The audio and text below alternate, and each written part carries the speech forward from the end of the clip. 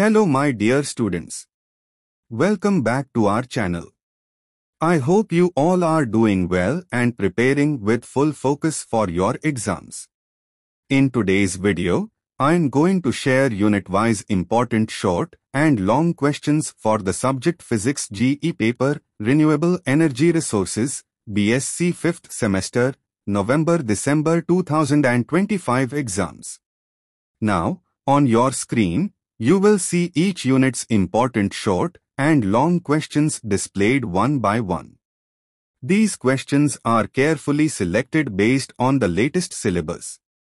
Let me now share some useful exam tips and tricks that can help you score better marks. For short questions, write around half a page to one full page.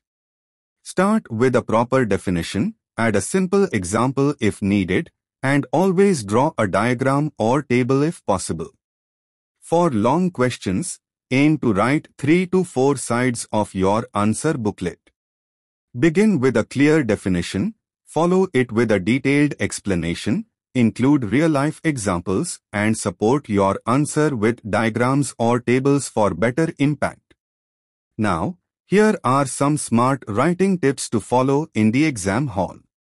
1. First, read the question paper carefully and calmly. 2. Do not write anything on the question paper except your hall ticket number. 3. Begin your answers with the question you know best. This builds confidence and creates a good impression. 4. Always start each answer on a new page. 5. Write the question number clearly at the top left and center of the page. 6. Don't miswrite or change question numbers. 7. Use headings and subheadings and highlight them neatly. It makes your answer more readable. 8. Use the last page as rough work and label it clearly. 9. In the last 5 minutes, check all question numbers and quickly review your answers to fix any small mistakes.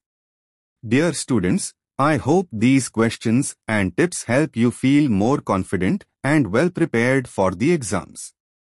For other subjects important questions, syllabus, model papers, quick revision videos and academic updates. Please check the video description, all useful links are available there.